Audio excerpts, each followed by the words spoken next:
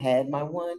Recording in progress. Um, no, you, you, no, that, that's not allowed. You gotta have at least one.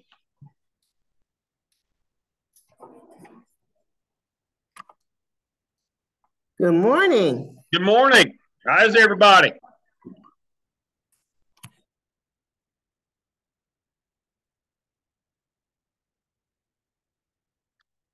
Oh, you're muted now.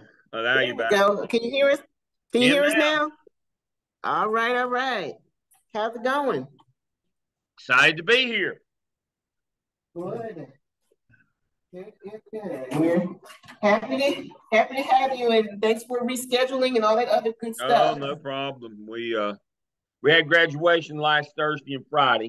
Um and uh we normally have when we do that, it's normally Friday and Saturday, and we work Friday night and Saturday morning, but this time it got moved up a day, and so we had to work Thursday night, then Friday morning for the College of Ed ceremony. So I appreciate y'all working around that. That was a change, but that that should have been a one-off. I, I guess the president's children won't graduate from college but one time, so he won't have to move our graduation so he can attend theirs but once. I hope. So Wow. examples of how not to lead. Um, so you know, you, you learn stuff every day. Um, but but we got through it, so everybody's good. So, are we ready to get started with master scheduling this morning? I'm, that, I don't, y'all don't have your camera on. I don't guess that's important though. On is no? no, you. I just got a. I just got me. Uh, minute, now I've got a. I've got a screen for you. There you go. Now I can see you. There we go. All right, now let me see if I can angle it down so we can. There we go. Yeah. There we go. There. Well, good morning, everybody. Um, so we're here for our final installment this semester of our professional development series. This one is near and dear to my heart as an operations person. This one is master schedule. And so I sent my my little slideshow and we'll get started on it this morning. So let me share my screen again. Thank you for being with us today, or thank you for being with me. And let me be here with you. All right, so let me move this stuff out of the way. Here we go. All right, so I call this one master scheduling, the cornerstone of school improvement. And so here's how I see. Uh,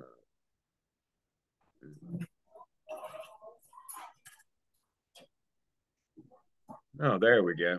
Got it. All right. So here's how I see the path to school improvement. Um, you have a school improvement plan.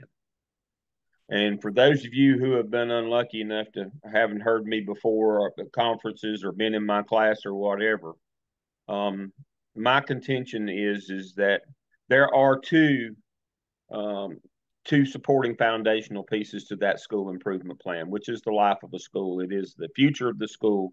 It's the success or lack thereof of the school. Is can you can you work plan your work and then work your plan? You know, you've got a school improvement plan with an instructional improvement piece.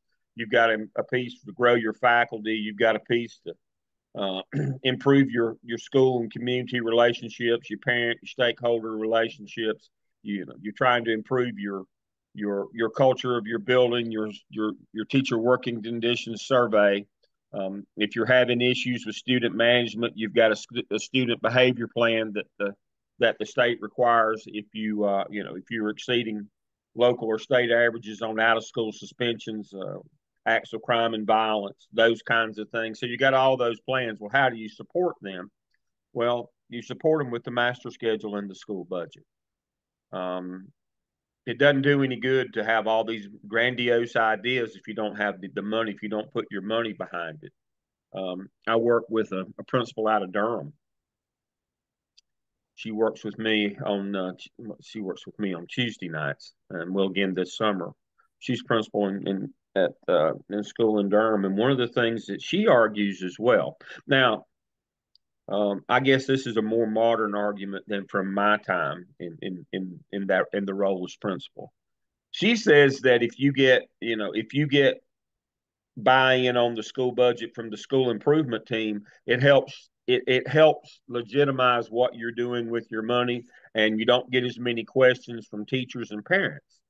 Um, many times teachers and parents in my era weren't that involved with about the budget. They just wanted to raise money for whatever they their particular you know for their curricula, their club, their the group that they're that they were involved in as a faculty member or involved in as a parent that had a kid in it. And as long as they got some money, that's all they cared about. They didn't care about the instructional piece of how you spent the money. But that's no longer the case, according to Renita. Again, she's principal in Durham. Parents are, are very much in, and stakeholders and community members are very much aware that that you have budgets in schools and, and you can prioritize how you spend those uh, to improve instruction, to improve outcomes. And so it by by working your budget through the school improvement team, there's a lot of transparency there. That's what Renita argues that that's where that transparency people part, part comes. Now, the other cornerstone is why we're here today. Um, is master scheduling. Um, if you if you have, for example, in your in your school improvement plan that you know we we've done a data dive and we really need to work on third grade reading, I should see something in that master schedule that addresses third grade reading. More time, the best teacher, whatever. I should see something in that master schedule that addresses those priorities from that school improvement plan. That's the whole notion. Now, the biggest problem with master schedule is is that it, it is that folks don't have a process or they have the wrong process as to what the priorities are in scheduling. So let me work through those with you this morning. Here is your here's the things that you need in preparation to to starting you put to put together your master schedule. You've got to do the data collection so that you're the most knowledgeable person in the room when it comes to this process. Here are the things you need. You need your report card. What counts on your report card? We should be addressing things that count on our report card. That's what we're trying to improve. We're trying to to improve the how much kids learn at, in our building their performance but we we, we got to know what counts if it's not on the report card, it's not as important. It's, it might be important, but it's not as important as stuff on the report card because the state and the community that you live in and the state has said these are what's important from their school. If they weren't, they wouldn't have write, written them down and we wouldn't keep score on them. So we have to look at our report card. Then we got to look at our EVAAS school report. Are we making growth? Are we growing kids or are we warehousing? You know, mm-hmm. comparative accountability, where your kids are is about who you get. Growth accountability is what you're doing with it. And so we got to know that. Do we just get a bunch of smart kids and warehouse them and claim that we're winning? Or do we actually grow kids a year every year? So we got to get, get our school EVAAS school report, and that gives us our teacher report as well. We not got to know what our school improvement plan is, what our initiatives are, what do we really want to improve, um, we got to look at last year's master schedule. We need to look at duty rosters and supervision schedule. Um, and as a point of clarification, a duty roster is during the day, bus duty, car rider duty, hall duty, lunch duty, you know, those kind of duties. Supervision schedule is after school activities. You need to look at your teacher working conditions survey. Uh, what did you know? What needs to be addressed in it, and then you need to look at your latest accreditation report that that might point out things that need to be worked on as well. Once you've got all these things, you can begin to look at, at scheduling your school. Now, where do you start? What's your priority? Pretty simple. This is this is this is our master scheduling rationale. This is the, the this is the golden nugget. This is why you came today. This is the the rabbit out of the hat. This is the deal right here. Um, this is the way you should set, schedule a school, period. Now, you could argue with me all morning, but I'll just turn the camera off and go on about my business. There is no other way. This is it. No, there is no other way to schedule a school. That, that, that but I have just folks tell me all the time, but that, no, no, no. You have to start with your federal programs, folks. They are the most restrictive. They are you have the least you have the least governance piece in them, the, the least amount of governance in, in them. They are the most restrictive. They are the most demanding they they have the most rules and regulations about how the money will be spent or the personnel will be used. The, the, the children that they work with have the most protections and the most requirements. Um, so what when we say federal programs, what are we talking about federal programs? Well, let me go to the next slide, and I can come back. Here's here's what I'm talking about: exceptional children, EC. 504 and intervention MTSS. All of those are covered. Now you know that there's a thousand regulations in dealing with them. I don't even have to go through those. We could spend a week, and trust me, I could. Um, I could talk till my voice went for a week about all these things. Title One, English is a second language, whatever you want to call it, ESL, ELL, ELP, ESA, gifted, and and CTE. Those are your federal programs. They they the money comes for them or the teachers come for them. You don't have any any say so in how they administer their programs. I mean, you you have to react to them and not them to you. Um, they are the 800 pound gorilla sitting in the teacher lounge, being loud and stupid. Um, but but that's just the, the, facts of life, folks. And now remembering, you only misspend federal money one time and then somebody else will get the opportunity to do it. Um, you cannot make a mistake with federal money. And so that is where we start our scheduling process is with those programs. Second part, going down the line in terms of, of hierarchy of how we schedule a school is state law. General Assembly, State Board of Education, North Carolina Department of Public Instruction. That is the hierarchy. General Assembly passes down to the state, and the state board looks at it and then adopts it, and then and then has their own resolutions uh, that sometimes the General Assembly adopts. They have a symbiotic relationship, but the General Assembly is in charge, and then they tell DPI what to do. DPI is like the central office in your district. They're, they're the people who carry out the wishes of, of the, the school board, superintendent, and state. Um, that's what DPI does. It comes from the General Assembly and state board and comes to them and they say, do this, don't do that. Um, and so those state laws, what do those include? So let's go to that slide. Um, they set class size limits, highly qualified teacher, teacher licensure, days, hours, minutes of instruction, planning time, duty free time, teacher work days. You got to be in compliance with all of those things. So you can't say, well, I, you know, what I'll do is, is I'll put 40 kids because every parent wants their kid, you know, in Miss McIntosh's classroom. Um, the mamas think she's the best teacher and the daddies think she's the prettiest. So we're going to put all of them in that room. Um, and then, we'll, but we'll put down that, you know, that she's got 30 and the teacher next to her's got 30, but we'll really give her 50 and then her 10. No, don't do that. Can't do that. Now, you know that monthly the school activity report. The SAR is run automatically monthly. And when you're audited, wherever you say those kids are in your master schedule in PowerSchool on that school activity report, they better be there. You better not have, not, not even one over the limit in any room. Uh, highly qualified teacher licensure. You better not have teachers teaching out of, of their licensure area. Days, hours, minutes of instruction uh, whatever it is. You know, the bell schedule is generally set by your district, but you better make sure that you keep up with that. Planning time. I mean, you know, this notion of we're going to put everybody on in the department on planning at the same time. That's a really bad idea. I mean, teachers get so much planning time, but but when and how they get it, you got to be concerned about that. And remember that every kid's got to be assigned to an adult every hour of every day. Everybody can't be on planning time. That can't be the solution. You know, we we can't we can't we got to we have to monitor that duty free time.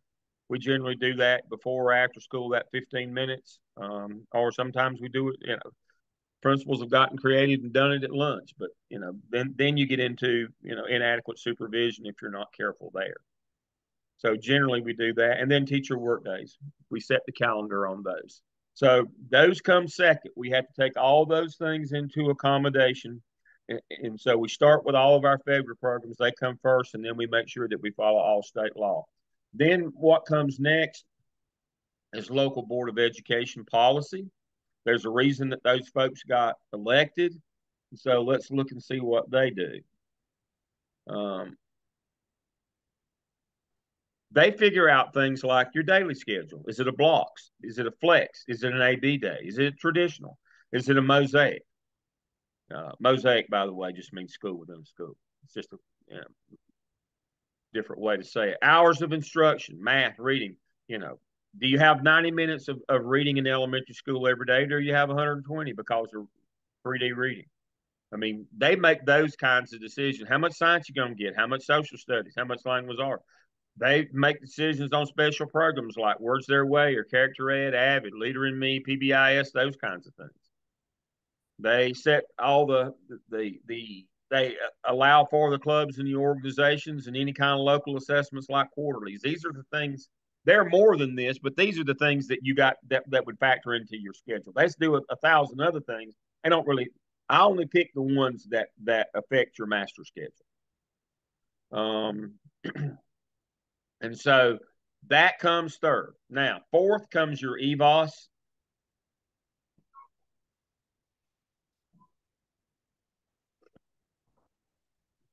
who can teach and who can't? Who can teach what kids well and who can't? Can you teach the low kids? Can you teach the high kids? Do you work the middle kids? God i wish i had robin hamilton here that was with us. Robin was so good at this and she showed you this during her session i mean she lets EVAAS drive drive all of these kind of decisions uh, but it also drives her professional development you, you're not very good with these let's work on you with that um, but that's got to be, we want the best people to have the, the, the most appropriate people to have the, the kids appropriate to their skill and ability level. Now, that doesn't mean we don't want to grow all of our teachers to be great with all of our groups, but we got to worry about the here and now. And so we look at that data. Uh, and make sure that we do that. So, and and also our, our scheduling of our specials and our core subjects. Um, you know, we used to call them pullouts, now we call them specials and cores you know, art, music, PE, or recess, whatever we want to call it now in, in elementary, those kinds of things. That that comes next, and then you know, and then finally, uh, teacher input, and not teacher input in I want to teach this and I want to teach that. Teacher input on student information. Teacher input on student information about you know, this kid needs to be here, needs to be there. Uh, not, I want this group. I, I deserve. I've been here the longest. I get to teach the smartest, the easiest ones. No, that's that's not teacher input. Um, and and so uh, I'll stop my I'll stop my share, tell my story, and then we'll we'll go to questions before we proceed on. So my story on getting this getting this list of priorities wrong is I went to a, a school in out in uh, well you go when you when you turn the curve in Raleigh on 40 and go from west to east now you're going north to south toward Wilmington about halfway to Wilmington I think it's 42 you get off on and you head across the state to the coast toward Topsail now if you've ever been that way you know that you better have a full tank of gas um, there, even the convenience stores have uh, have gone out of business in that part of the world. Your your your GPS will just sit there and spin. It doesn't even know where you are. Um, to say that you're in the middle of nowhere um, is an understatement. I think they were working on the road. I had to take a dirt road, and I had to get pull up a man's driveway and through his carport and out the backside to get to the school. That's how far out in the woods we were. Now, what's the likelihood when I got there that they were having a random Title One audit? None. You need a helicopter to find the place. Um, nobody was just driving down the road from Raleigh and said, "I think we'll go out here. We, if we have a flat tire, we'll die. We're so far out in the middle of nowhere." And do an audit, a, a, a random Title One audit. What happened was, is the principal was getting near retirement, and the third grade teachers beat him up, and and, and he finally to get him off his back, he took and put to balance the loads in third grade, he put 20 kids in in a uh, Title One classroom that weren't supposed to be in there to balance the loads in third grade. And he said, I just need to get him off my back. Well, you know, I had to wait an hour to see him, and he told me what they were there for, and I, you know, I, I hate that for you. And so what we did an hour, and I visited my intern, and then, of course, then I went back two weeks later and met the new principal. Um, you don't misspend federal money but one time. And he forgot the priority that federal programs come first and teacher input comes fifth. He let the teachers browbeat him into putting kids in a Title One that were not Title One kids. Now, you all being in Thomasville understand the difference, I'm quite sure, in having a Title One program and being a Title One school. Having a Title One program, only the Title One kids can can share in, in those resources, including teachers. If you're a Title One school, everybody can, but they weren't a Title One school. They just had a Title One program. And they he was let go that week, and I had to go back and meet the new person. That's absolutely a true story. I was there. I saw it. I know it. I've been involved in that. My time in the central office in Charlotte. I, I just can tell you, you can't misspend federal money. You have to go by your rationale. You can't decide, well, I'm going to do it a new way or I've got a better idea. No, you don't. Trust me, you don't. Um, the federal government, um, for good or for bad, um, has no sense of humor about these kinds of things. Uh, and they're sticklers to follow their rules, whether they're good, bad, or indifferent. And so I, am just I'm just cautioning you now. Um, if you misspend their money, you won't survive it. So I'm going to pause now, believe it or not, before we proceed on. We don't have a whole lot more, but questions you have for me about that rationale federal programs, state law, local board policy, your performance data, you know, and that that always coincides with your specials, and then teacher input. What do you think about the rationale? What what is good or bad or indifferent about it? I think it just it's just the way it fits. I don't think you do anything about it. Each one is uh supersedes the one below it, I guess. That is correct. It it is a and that's why th- thank you, Sean. It, that's why it's a called a rationale. There's a rationality to it. This one supersedes that one, supersedes that one, supersedes that one. Uh, it's not just a list or an order. That's why we call it a rationale. That's exactly the point. Um, and so once you step outside of that, even for a little bit, the whole thing comes crashing down like a house of cards. See, I've had students argue, well, I could do this in place of this. Well, it doesn't work that way. It's a foundational piece. Um, once once you start changing least a little bit thing, the whole thing just topples over. It just crumbles. It, a rationale means that this comes before that, and it has to be that way you know that that you can't now teachers will try to argue you down people in your building parents i'm telling you while we're sitting here today and you're sitting in that room and i'm sitting in, in my office here uh, this sounds completely normal you say dale why are you belaboring this point this sounds completely normal rational uh, nobody would argue with this until you take it outside of the rooms that we're in and teachers see it and parents see it and they don't like it because it because it doesn't favor them. But the whole notion here is is if you use this rationale, you did the right thing for kids. And that's that's has to be your argument. Now, when teachers say, but it ain't it's not the right thing for me, you have to agree. I, I, I yes, that is correct. I hate that for you. But no, it, it is not good. It's it I didn't we didn't schedule the school for your convenience. Um, we scheduled it for students. We need to be champion for kids, not champion for teachers. Uh, I love teachers, you know that that's fine, but but we don't we don't run schools to, as employment agencies, and everybody has to understand that. And as soon as we do one little thing out of our rationale, the whole thing comes crashing down, and we don't get the results that we need in our school. All right, back to our screen here. I'll try not to keep us all day since it is Friday. I've got my eye on the time today. All right. A master schedule does not positively impact the academic initiatives of your school improvement plan. Is the outcome of a poor master scheduling process and did not occur by chance or luck. Uh, we can increase the probability of our master schedule having a positive impact by utilizing the proper master scheduling rationale. And that's kind of my close on that do that. All right, so now I promised I'd be brief today.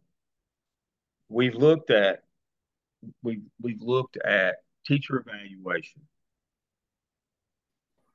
We've looked at our exceptional children's programs.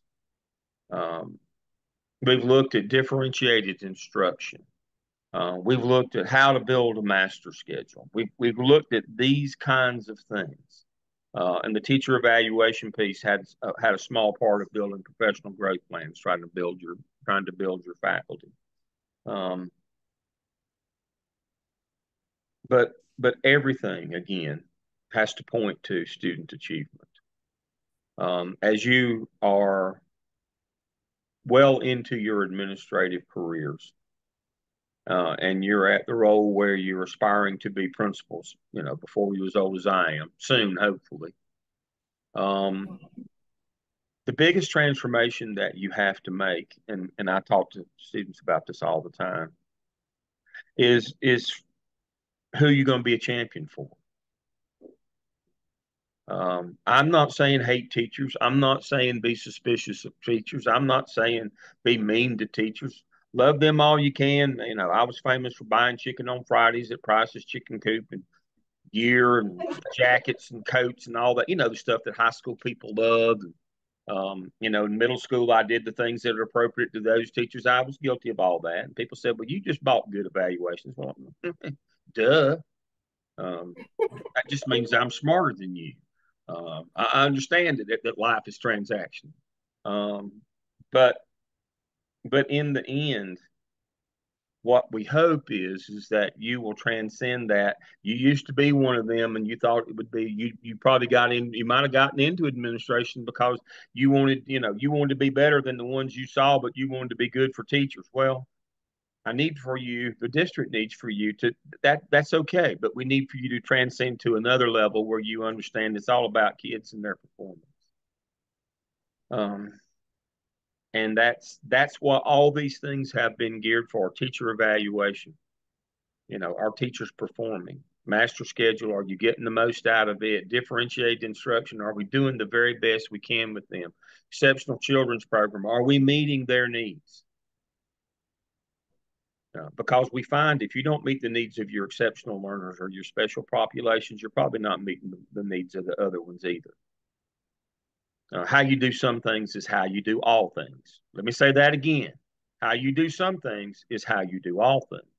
And if you go into a school where the kids that are in the, the, the federal programs are ha- not having their needs met, the rest of them won't be either.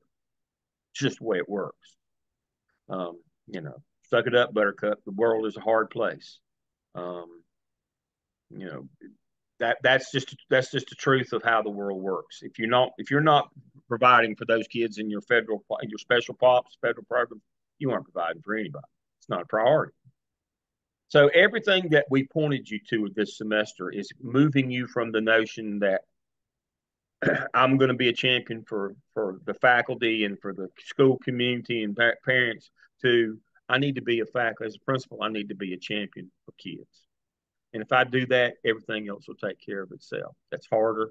Not as many people are going to like it. You, you're not going to facilitate as many adults. And they're going, they're, you know, you're not going to do as many favors and etc. Now, you know what I'm talking about. Politically, you're not going to be as popular initially as you could be if you did favors. But once you start to achieve and perform, um, you'll be more popular than ever. But but everything has got to be pointed back again to that student achievement, that that that pyramid. All right, I, I, promised I'd be brief today since we were on a delay and and came through, and that that I wouldn't keep you all morning. Um, questions you have for me about any of the the different classes that we had during the spring on on the series? Anything, any suggestions you have for for what we should do better? Um, all right. Well, I hope you got some enjoyment out of it. I sent the uh, uh, to, to Miss Hope. I sent her today's presentation, as you can see. You, you, can tell I didn't steal that one from anybody. That one's mine. Uh, it, it, it, looked like about a fourth grader put it together, but that's about the level I am. Um, but mine's always just straight to the point, and uh, just tells you this is what you got to do. Do this, don't do that. Uh, remember, I'm an operations person. We kind of get to the point. All right. Anything else today? I'm gonna let y'all out early. I promised I'd have you out at ten thirty. My word, I think I might have. You're right there, Dr. Lamb, right there. So All right. so Thank you. So, thank I enjoyed being with you. Um, yeah, I, I, I- I appreciate you. I appreciate what y'all do. I really do. You know, I live in the region and I appreciate what you do. Um, last thing before I go, now that, that officially, Steve Laws is my counterpart in EDLS. Steve and I work together. Um, I don't know if y'all knew or not, but over at the Davidson Davie Community College, we, we run doctoral cohorts out of there uh, for your residency piece. And we're looking for some doctoral students for the fall at Gardner Webb. And now, now, if you know me, I'm a statistician. I don't believe in gambling, but I, the only gambling I believe in is betting on yourself. I've never seen a time when your future would be brighter in the business to go back to school. So if you don't come to Gardner Webb, that's okay. We've got a great doctoral program. We got one in curriculum. We got one in, in leadership. They're great programs. Please do, but please go somewhere. Please go somewhere. This is your opportunity. Take the most, take the best advantage of it that you can. Be in a doctoral program somewhere this fall or very shortly after.